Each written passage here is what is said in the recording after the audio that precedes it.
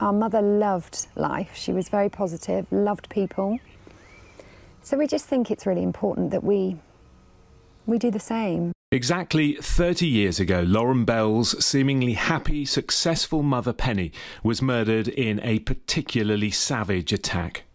My thoughts now are that if someone can do this, then they're going to they will do it again. I know they will. And I know what devastation it's caused to me and my family. As her husband and children grieved, police began their investigation. But three decades on, who killed Penny and why remains a mystery. The businesswoman had driven from the family home in Buckinghamshire, telling builders working on the house she had an appointment. She'd withdrawn £8,500 from her bank account.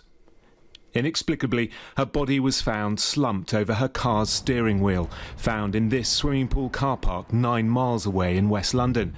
She'd been stabbed more than 50 times. The money was missing. Penny's car was seen driving slowly and erratically along this road. An eyewitness said that they saw a man in the passenger seat and Penny mouthing the words, help me, through the window.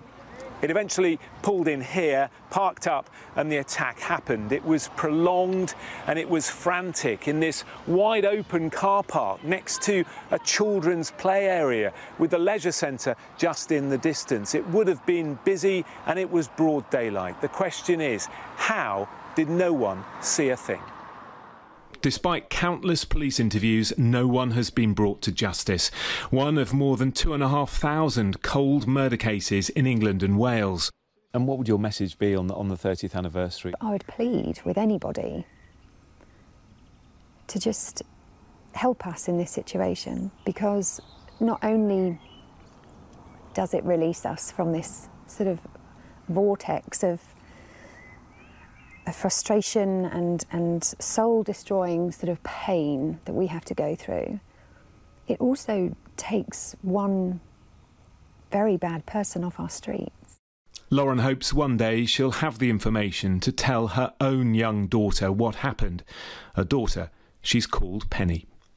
Jonathan Samuels, Sky News.